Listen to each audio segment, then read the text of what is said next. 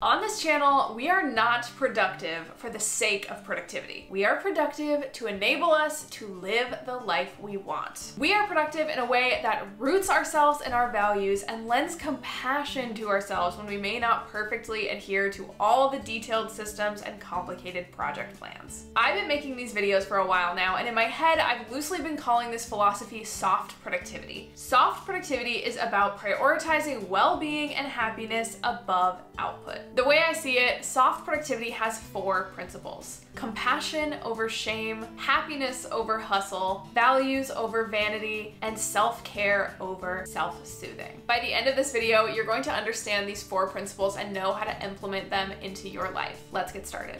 See, it's soft, soft like the cloud. Okay, let's start with compassion over shame. Compassion has so much more to do with being productive than you think it does. But hustle culture will have you believe that being compassionate is a weakness or somehow reducing your resilience to life challenges. But what it really does is help you reduce the sense of shame that often keeps us locked in toxic cycles of productivity where we end up overworked and burnt out. So, first, to understand compassion over shame, we need to start having compassion for ourselves. Without compassion for ourselves, we rely on perfection as a metric to tell us if we are succeeding. And we often blame ourselves for things that are totally outside of our control that mess up that perfection. Or we blame others for things that are within our control because we are not being perfect and we can't face the shame that comes with not being perfect. So we often blame ourselves for things that we can't control and blame others for things that are within our control. So to practice having compassion for ourselves, we want to work on reframing our failures and understanding our fears. A few good ways to do this are first to start reframing our failures. We want to start thinking about our failures less in terms of like, oh, I went out there and I failed, and more like, oh, I went out there, I tried something, and I learned something. Reframing failure as a learning experience is always a sort of meme that people use when you talk about your failures, but it is really true. So you can have failed at something and you can also learn from something. I gave this example in a previous video, but one thing that was really fun that I started doing in my relationship was I observed my boyfriend playing video games and he would often die. And when he would die in video games, he would go back to the beginning of the level and he would say, okay, so I died so this mission that I'm going on now is just a fact finding mission. And he would accept that the level was too hard for him, and he would say, I'm going on a fact finding mission, and he would just play the level and try to learn as much as he could. And then, of course, he would die because he wasn't str- his character wasn't strong enough, or he didn't know everything yet about the level, or hadn't found the secret puzzle. But he would continually go on these fact finding missions, and it was a really useful way for him to reframe his failure that he wasn't actually completing the mission or completing the boss. So we started adopting this fact finding terminology into our relationship, into everything we did, where we were going to a new place for the first time and it was like, okay, this might not be fun because it's a new place, but it's just a fact finding mission. And we would go to the new place and we would see what it was about, see what it had to offer. So the risk of failure became zero because when your goal is to just learn information, you're always going to succeed. But working on and understanding our fears is a little bit difficult. I'm actually coming out with a video next week that will talk a lot more about fear, but the basic idea behind understanding our fears is naming it and recognizing it and working with it instead of trying to hide it. Because again, when we hide our fears, we develop shame, and that's not good for us or anybody else. Then, of course, you also want to have compassion towards others. You'll work with lots of different people who will form the landscape of your productivity. They may be roadblocks or allies depending on how much compassion you have for them. So, kids, coworkers, spouses, neighbors, bosses, clients, everyone in your landscape deserves compassion for their own productivity journey and so that you can have them as allies on your productivity journey. Try to understand where people are coming from when you're working with them. So, for example, I had an experience once where I was working with a coworker who, as soon as we encountered difficulty in the project we were working on, she began to get kind of short with me and snippy with me, and I could tell she was just really aggravated. But the things she was saying weren't making sense, and every time I tried to point out that, she would just get more aggravated. So instead of being like, hey, you're doing this wrong, and her getting aggravated, I tried to be more understanding and have more compassion. And instead, I had a phone call with her and I was like, hey, maybe you can walk me through where you're coming from so that I can help you with what I I know because I want us both to succeed on this project. And I'm feeling like I don't really understand where you're coming from yet. So once I was able to say that and sort of diffuse the tension by being like, uh, listen, I'm the one who's misunderstanding you. I get that. Once I said that, it really diffused the tension because she felt like I was seeking to understand her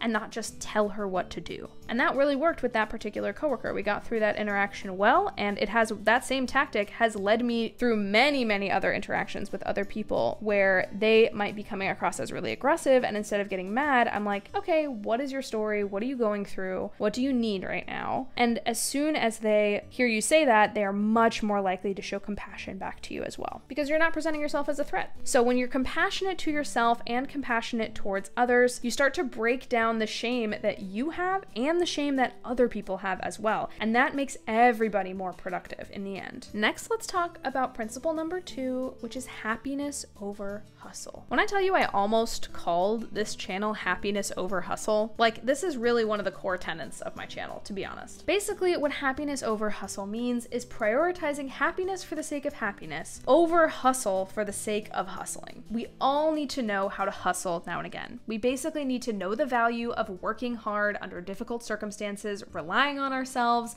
and thriving under pressure. That's what hustling is, and it enables us in a great way to be able to succeed when we can't control the pressures that are put on us. By doing a little bit of hustling and getting on that grind, we are able to succeed even when we can't control our environments. But we do need to make ourselves aware of those times when hustling isn't serving our happiness. Hustling for the sake of hustling often will lead us to burnout and will not lead us to happiness. If the goal of being productive is living the life that we want, we need to be prioritizing our happiness over hustling for the sake of hustling or being a person who hustles. So, what do you do when you find yourself in this state of burnout? And what do you do when you realize that all the hustling you're doing is not bringing you happiness? Well, I have advice for you for two circumstances. One is when you can get out of the hustle and pursue things that make you happier, and two is for when you can't get out of the hustle and you need to have fun while you're doing it if you can get out of the hustling, so if all the hustling is self imposed and you don't need to be doing the things that are burning you out, I want you to reevaluate your priorities and build in more fun and peaceful activities for yourself on a day to day or week to week basis. So you can say, look, I am not thriving in this digital products business that I thought was going to bring me all this free time. In fact, it's burning me out. I don't have to do that anymore if I don't want to. I can get out of it because it's my personal business, and so I can adjust. It might take you a long time to find out what your actual priorities are, but it's totally worth doing, even if that means looking on a long timeline and saying, okay, I have six months to get out of this business that I started for myself that I don't actually like, that's not actually bringing me happiness. You just want to get started on the plan because it's going to feel like taking control of your life and taking control of your happiness. Now, what do you do if you can't get out of it? I think this is most of our situations under late stage capitalism, but basically, if you can't get out of the hustle, if your boss makes you work really hard and you need the job because you need the money, or if you are under a lot of pressure because you are the single parent in a big household and you're just trying to keep it all together, I have a few recommendations, but basically, you want to try to make the things that you're doing be as enjoyable as possible. So, because you can't get out of it, you might as well make it a good time. I have made a number number of videos on having fun on my channel, so I will leave some of those up in the cards. And remember, it's your happiness, it's your life. You have control over it, even if you can't get out of doing all the things that make you feel like you're hustling and burnt out. You can still work to make those things at least a little bit more enjoyable. One of my favorite ways to get a lot done while prioritizing my well being is today's sponsor, listening.com. Listening.com is an app that turns anything and everything into an audiobook you can listen to on the go. Academic papers, papers, textbooks, PDFs, websites, even emails. So all that knowledge you've been waiting for a chance to cram inside your head, you don't need to stay up all night doing that anymore. You can catch up on your coursework while doing the dishes or read that article while exercising. I honestly would have killed for this in college. It has automatic chapter detection, one-click note-taking, and it even knows how to read math equations and skip footnotes. So I think this thing probably has a master's degree. It also has a bunch of different AI voices, which which honestly is an unexpected game changer for me. I don't know what it is about starting a new audiobook, but sometimes you get going and the voice just feels like off. I've straight up not finished books because of this. So being able to select from different options rules, and you can even switch like mid chapter or mid sentence if you want. It really helps if you find yourself tuning out and want to just lock back in. Listening has a two week trial that'll enable you to check out all of this for free, but as viewers of my channel, you get an extra week. So if this sounds up your alley, go to the link in my description or listening.com to get three free weeks. Thank you again to listening for sponsoring, and let's get back to soft productivity.